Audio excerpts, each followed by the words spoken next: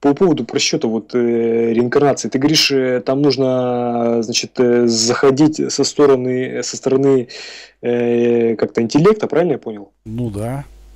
Ну, как... э, Ну, есть два, два варианта, всего два теоретических варианта. Э, Они оба математически просчитываются. Я имею в виду варианты возможности Ну, если мы рассуждаем об инкарнации, да, мы говорим о тонкоматериальной сущности, да. Да, да, да, да. Вот эта тонкоматериальная сущность, она может э, быть э, дискретной, тонкоматериально дискретной, либо она может быть эффектом наведения на базовом поле. Угу. Вот. И это получается как бы разные схемы физически. Но они обе просчитываются. И если их в тупую сидеть считать, то Не, конечно, да, это нужны какие-то, вот как раз я и спрашивал, вот, э, то есть, что вот в расчете именно, вот что учитывать, ну, там, какие вот, не знаю, факторы, либо там... чтобы как-то об этом серьезно говорить, надо сначала просчитать всю материальную развертку. То есть, э, скажем, э, материальную развертку, развертку я имею в виду все состояния материи, Мгм, ну, схему, матрицу, скажем, от, э, ну, скажем, включая все частицы и химические элементы. мгм, Просто получить сначала материальную развертку, проверить ее, попадает э, она, э, собственно, в нашу химию. Ну, это про- элементарные проверочные операции. Матрица сошлась на том или не сошлась на этом. бы это все делается. Это как бы будет подтверждение, да, что вы правильно матрицу свернули.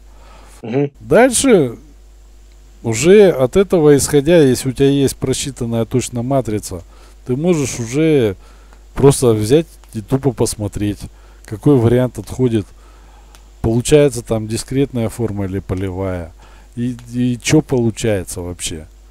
Может вообще ничего не получается. Если получается, например, дискретная форма, ты уже как бы уже считай знаешь ответ. Что да, вот это вот есть мгм. есть в таком виде. Дальше уже смотришь, э, можно уже считать и биологию. Ну, можно опять же считать э, тупо ручным способом. Можно, э, если у тебя есть эта матрица, ты на ее базе, ну, развертка есть, ты можешь. Вик- Виктор, вот перебью тебя. Смотри, вот ты говоришь дискретное, ты имеешь в виду, что это как бы э, имеющая границу, правильно я понимаю? Дискретно это состоящая из э, дискретной материи. А, значит, э, то, а полевое это из э, полевой, да, материи? Эффект на материи. Ну, именно на поле, правильно понимаю? Нет, это полевой эффект на на на размещенной материи. Ну как как объяснить-то? Но Ну, например, например, как э, у магнита поле вот магнитное, так? есть э, вселенная, ну скажем, вот упрощая простое объяснение, э, вселенная заполнена телами. Э, Все тела между собой взаимодействуют один р квадрат этой зависимостью Ага. на всех уровнях. Мгм. Лю- любое Э, Виктор, на всех уровнях ты имеешь в виду по размерам вглубь, да? Да, да, да, да. То есть э, там земля, камень, э, там Частицы пошло частицы, все понял, да. Вот э, взаимодействуют, да? Э, то есть э, и как сказать, есть вот атомно вот уровень взаимодействия, есть глубже, более глубокий и так далее, так, так прочее. Есть уровень химических связей. И вот если вот туда лезть, это все как бы волновые полевые эффекты. Угу. И каждое тело оставляет как бы свой след полевой на соседние тела. Ну, по- пока оно существует. Ну, Ага, понял. вот теперь смотри. Вот оно существовало, э, его, как оно перестает существовать? Материя же никуда не делась. Ну, материя никуда не деется, в принципе, да. Туру. Правильно? Ну, привычную. Пере- И еще раз, не было, было, было плохо слышно. Она вышла из привычного состояния просто. М? Ну, да, понял, да. А вот это вот, ну, скажем, простыми словами, намагниченность на окружающих объектах, она как бы осталась. Ну вот, Понял. пе- передача. И дальше уже, возможно, варианты. Вариант А, вариант Б, вариант С. Ну и пошло-поехало. Понял тебя. Короче, понятно. Понятно, что как бы на самом деле чуть-чуть вверх там э, как бы ухватываю, там понимаю, но понимаю, что очень как бы, скажем так, круто. Ну, то есть глубину понимаю всего этого, там маленькую, вот э, своим пониманием, довольно крутой момент, скажем так, для меня. А, Виктор, вот сейчас вот ты говорил, я э, немного опять от темы э, про э, состояние, значит, э, правильно ли я понимаю тогда, что кроме вот, э, э, допустим, э, четырех вот э- эти состояния, они как относятся к агрегатным состояниям вещества, которые сейчас приняты, э, ну, вот в физике? Ты имеешь в виду что? По какие состояния? Ну, а- а- агрегатной физики это, допустим, вот твердое тело, там жидкость, э, Нет, нет, ты, ты говоришь, эти состояния, как они относятся к э, состояние. Вот ты говорил э, о поле, значит, э, ну, допустим, э, э, материя, то есть материя, вот, допустим, ну, там в твердом виде, как я понял, и потом оно там, э, его состояние поменялось, там, э, как бы поле осталось, как бы э, материя никуда не делась, ну, и вот поле осталось. Как я понял, поменяло просто состояние, и, ну, материя... с- маленько не про то говорил. Ну, как, как сказать там? Э,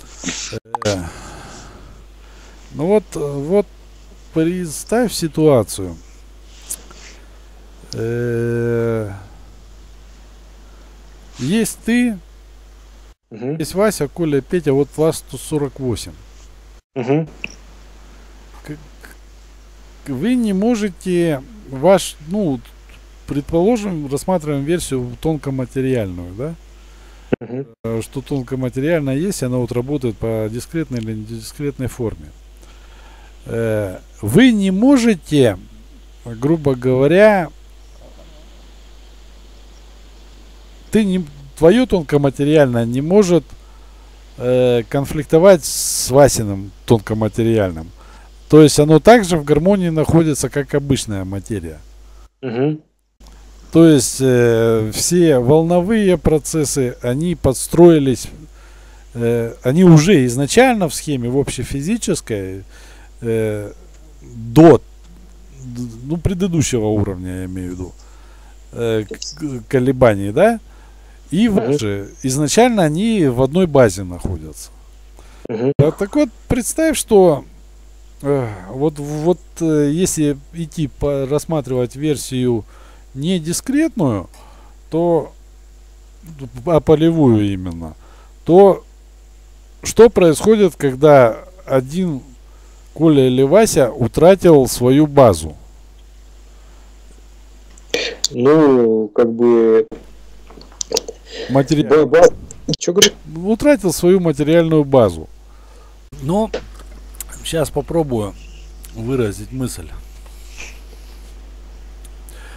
Ну Вот когда мы говорим о рассматриваем версию не дискретную, а вот как раз полевую, получается Да. следующее.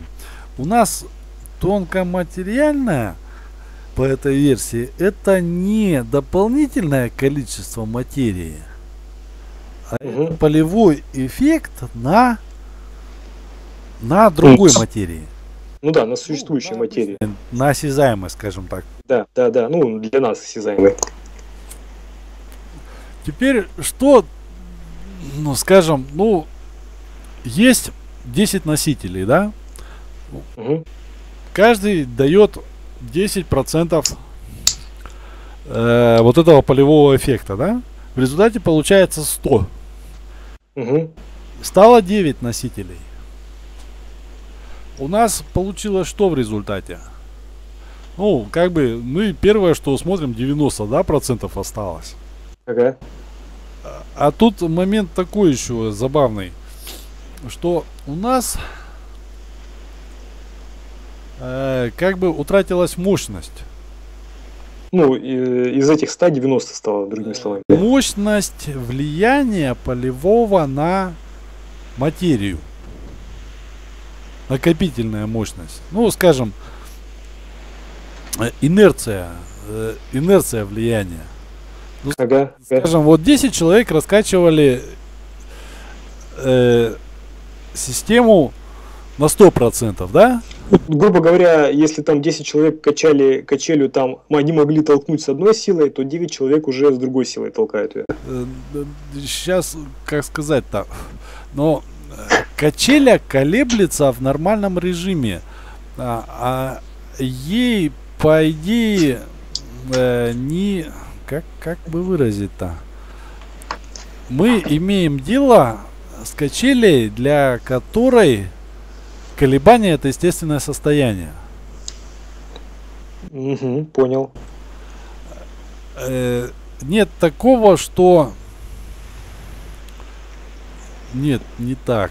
Э, ну, скажем, раскачка не требуется. Раскачка это естественный остаточный процесс. Вот эти вот э, остаточные э, тонкоматериальные явления по версии не дискретной, они как раз естественный физический процесс упорядочивания этих колебаний.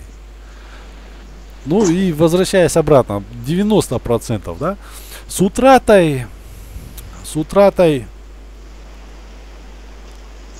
с утратой 10% от этого элемента у нас как бы утрачивается носитель. Э, исто... Нет, утрачивается источник, а носителем-то у нас является по этой версии что?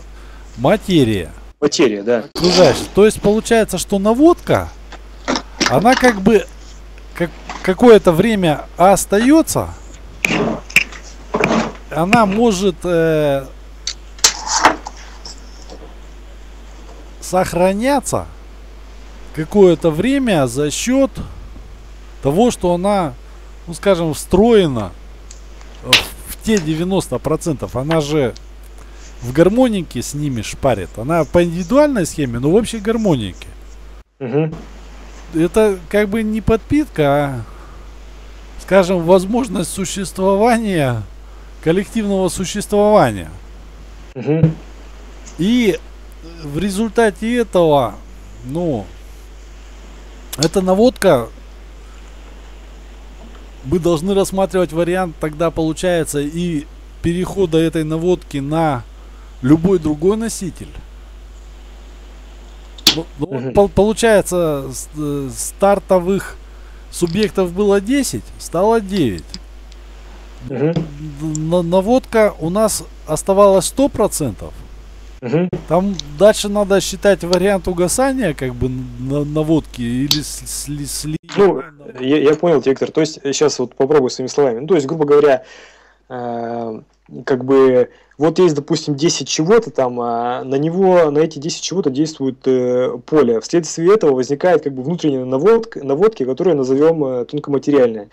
Э, например, э, одна из этих десяти чего-то, ну там сущности или чего там, ну которые в реальном мире из материи стоят, там э, по какой-то причине разрушена, э, значит, э, после него как бы остался вот этот след ну, постепенного угасания, либо там, не знаю, э, вот, который как бы называется тонко тонкоматериальным, правильно я понимаю? Свободный след, скажем, назовем его.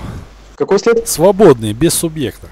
Ну да, без субъекта. Ну, который как там или угасает потихоньку, либо он как бы существует вследствие там каких-то причин, ну, допустим, неизвестных пока что нам. Там взаимодействие тоже там, может, полевого. Это там все известны. Там это, если ты прочитал материальную развертку, у тебя все причины известны. Угу, угу, угу, угу. Так. Ну, это надо плотно, этап за этапом, грубо говоря, прорабатывать, считать, все это устаканивать. Потому что вот сейчас это все, ну, озвучивается на уровне набросков.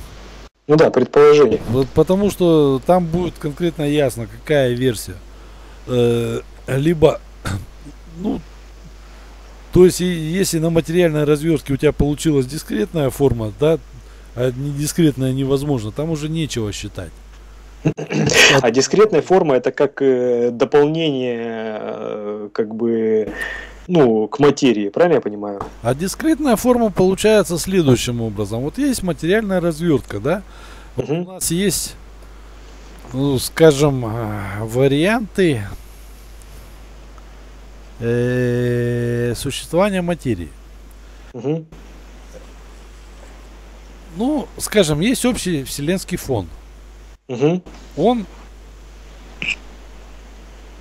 регламентируется общей полевой вот этой разверткой вселенской. Да, у нас каждая материальная ну, частица да. с, совершает колебания в гармонике со всей вселенной. Она не ну, может. То есть создает как бы вся, вся масса создает как бы общий фон. Да. Но э, и масса создает общий фон. И если лезть вглубь, вглубже, то и любая частица, считаем ли ее массовой или безмассовой, она тоже в этом фоне находится. И она тоже, она не может поперек этого фона колебаться.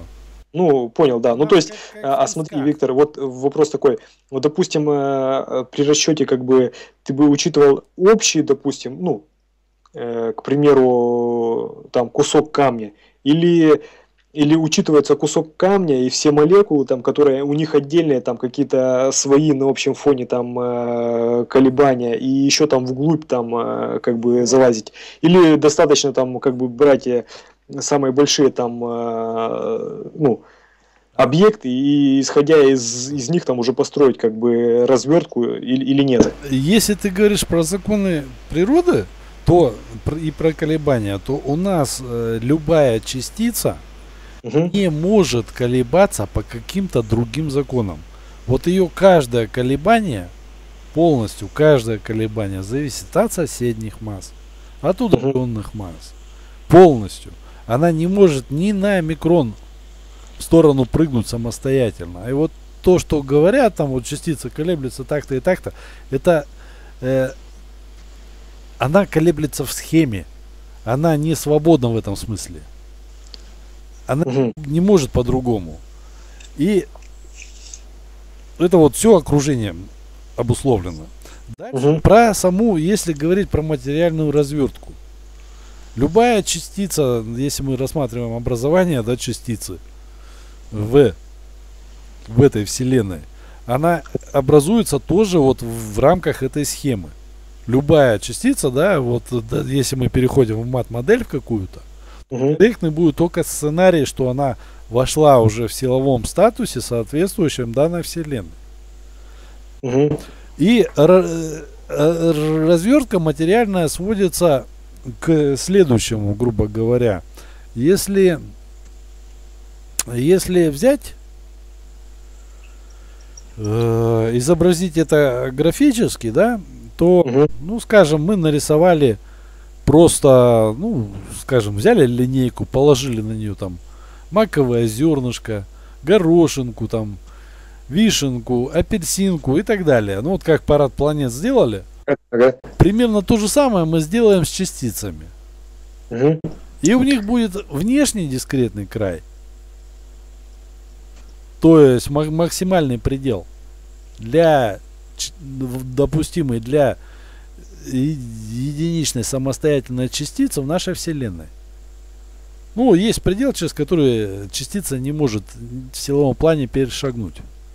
Э, именно ее размер в смысле? Ее силовой статус. А ее То есть- силовой статус уже определяет размер.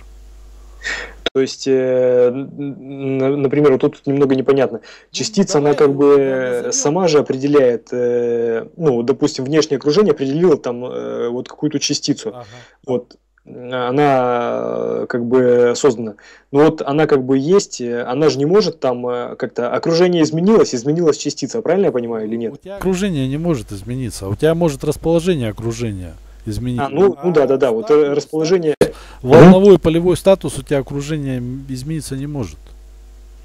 Мгм. И причем Ну, это- этот статус у тебя, э, грубо говоря, стандартный для любой области Вселенной. То есть для любой области, для любой размерности, ну, в смысле размера для любого. Да. Ну, грубо говоря, скажем, у тебя частица не может быть размером с, с апельсин, неважно, где ты находишься. Здесь ты находишься, да, или там за миллиард галактик отсюда. То есть она везде будет, э, по сути, одна и та же. Нет таких областей Вселенной, где бы был другой химический состав, отличный от нас.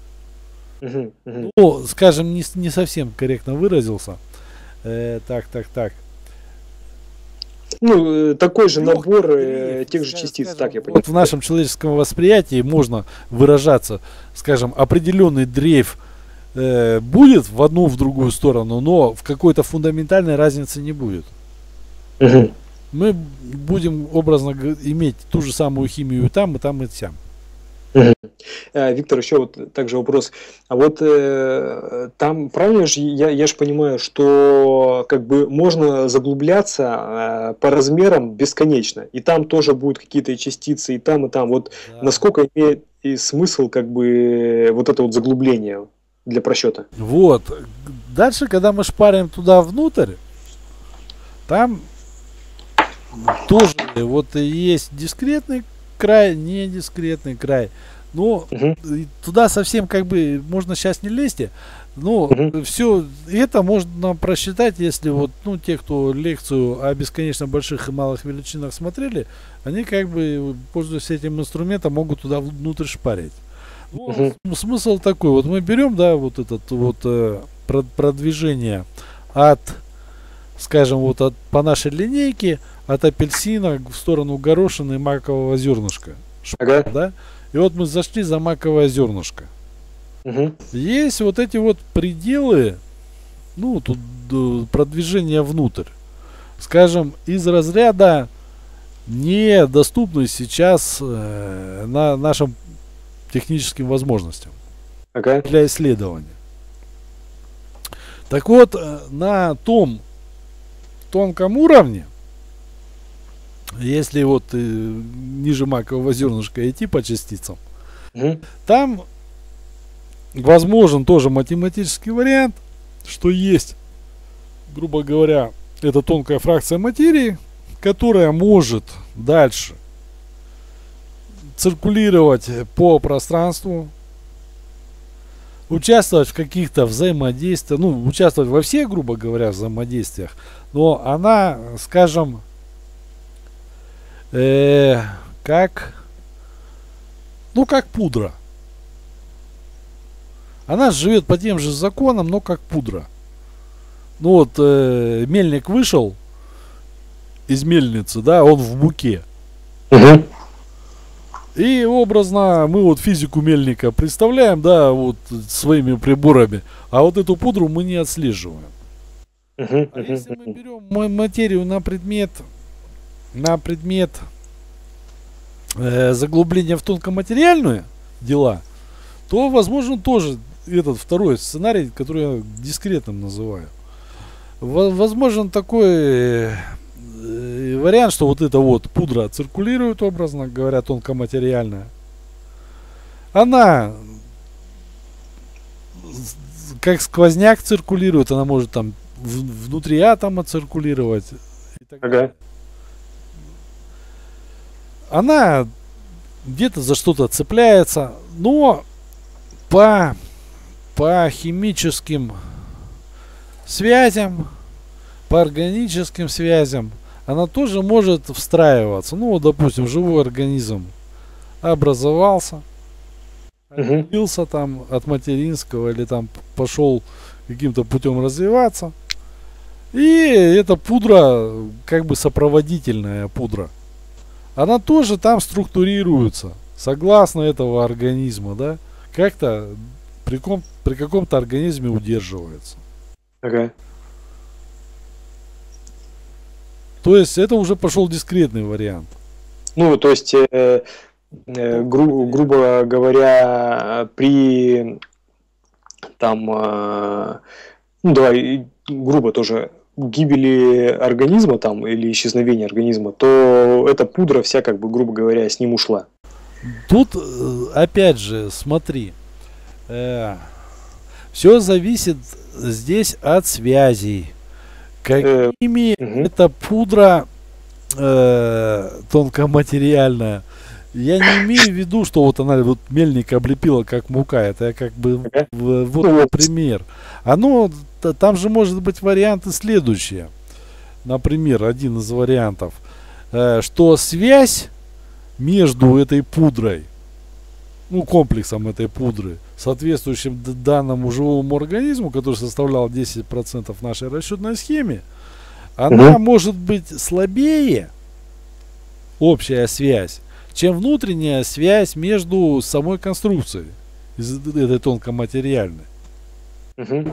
Если это так, ну это опять же считать надо, да, Мгм. варианты.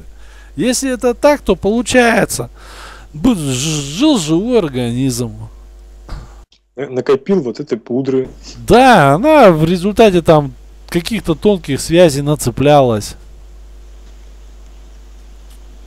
Удерживалась на протяжении жизни, да, где-то утрачивалась, где-то прибавлялась, ну, жила своим законом. И у Мгм. нас носитель, носитель представился.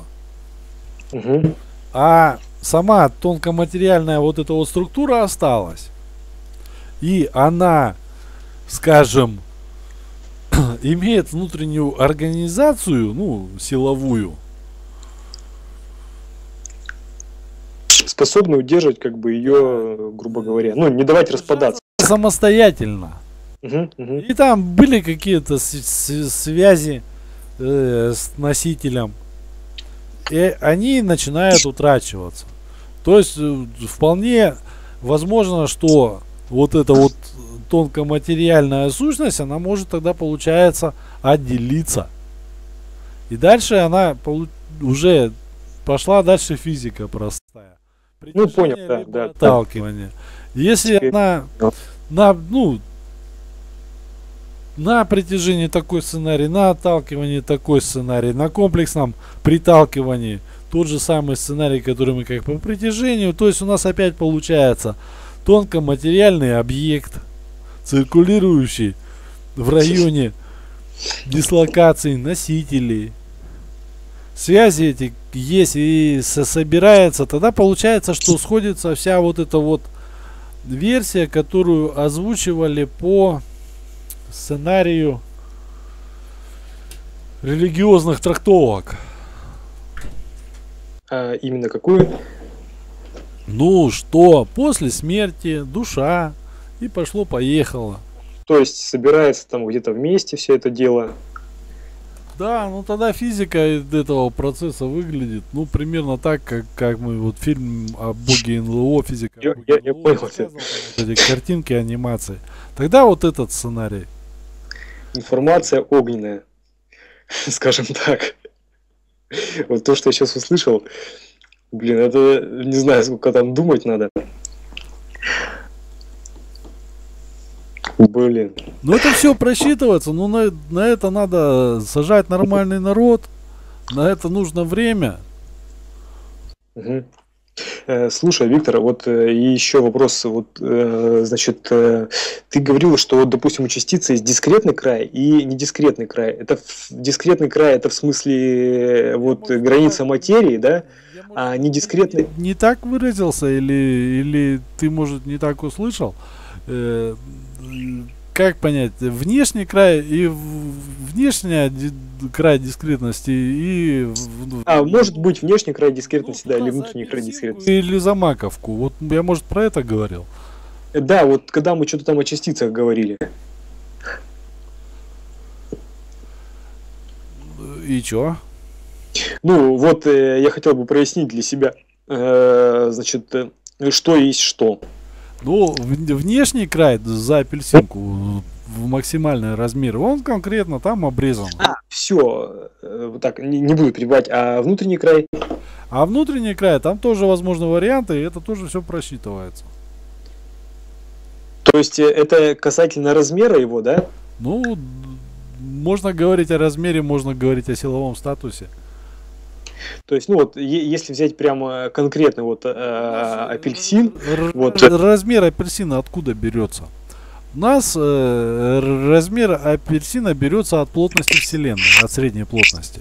Ну, грубо Мгм. говоря, мы уменьшили среднюю плотность столько-то раз, у нас размер апельсина столько-то раз увеличился. Мгм, мгм. А поскольку у нас база, к- конкретно средняя плотность по вселенной константа и стремится к константе на макроуровне, то как бы у нас предел все равно получается у апельсина конкретный для данной. ну понял, да, то есть он может, может быть как бы большой апельсин, может быть маленький апельсин, но вот э, как бы Если разница мы- там, Если мы стерли всю материю, оставили только апельсин, то у нас получается безразмерный апельсин. да, огромный апельсин, короче, да. Ну, понял, да. То есть это мы говорили, ты говорил, то есть касательно того, э, что как бы потенциальные размеры, как бы граница а, может быть такая, а может быть такая. Вот о апельсинах. Теперь понял. Ну, э, о частицах. Вот, еще вопрос в следующий. Вот э, я сразу не стал задавать э, по поводу материальной развертки. Э, ты здесь что подразумеваешь? Ну, материальная развертка это как раз от апельсина к маковке. Но у Ну, то есть, Есть, грубо говоря, вот стартовая ситуация. Есть Вселенная, есть в ней процессы, есть частицы, да?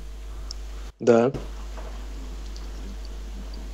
Ну, если двигаться в сторону частиц, то есть сценарий, как это математически просчитать. Не загадывая там в адронные коллайдеры, а просто взять и выполнить работу, просчитать и получить конкретный результат. Какие у нас частицы могут в нашей Вселенной быть и как А, все понял. Собственно, э, теперь понятно. И исходя из этого можно как бы там э, ввести расчет их взаимодействия, Да. значит, знать, какие там э, они могут быть, э, какие у них могут быть размеры, там, э, как они могут существовать и так далее. Правильно я понял? Да, да, да, да. Все, понял теперь. Нереально круто. Скажем так. Ну, наверное, не для всех. Единственный вопрос, который у меня возникает, когда я э, значит, все это слышу, э, вот ты, рассказываешь, вот как, как вот э, додуматься, это ж сколько нужно было потратить времени, чтобы вот с чего вот начинать, э, чтобы вот, э, значит, при- ну, пришло это понимание ну, такого уровня. А, там как бы есть такая штука э, или нет такой штуки. Ну, пример я такой могу привести. Взять человечка, Мгм. ну, чистого, без информации. Или стереть полностью информацию с головушки. Дать э, или отклонировать человека, чтобы он не получал никакой информации о внешнем мире. Ага. Э, Посадить да- данного человечка, скажем, в какой-то кубик, какое-то помещение и не давать ему, ну, информации. Так вот, если дать этому человечку вечный ресурс времени, то у этого человечка есть шанс э, додуматься до того, что находится за бортом. Причем додуматься не на уровне догадок, а на уровне жестких следствий. Жестких следствий, ну, бронебойно. То Мгм, есть этот мгм. чело- человечек может сосчитать материальную развертку. Он может рассказать, как выглядит мир за бортом. Ну, что есть там планеты, там галактики, так далее, так прочее. Мгм. Это, разумеется, при условии, что этот человечек будет в интеллектуальном плане расти, там, мозгами шевелить и так далее. Мгм, мгм. Вот этот вариант как бы существует. Но просчитывается. Но, блин, неожиданно просчитывается. Я как бы это поднял задним числом. Что можно, что человечек может до этого досчитаться. Да, э, ну да, как бы, а э, в чем суть? Суть чего? Я просто немного не догнал. Вопрос задал о том, э, как, значит, к этому всему, вот э, то, что ты рассказываешь, как бы прийти, вот э, как вообще, ну, для меня не, непонятно в плане. Что говоришь? Через логику?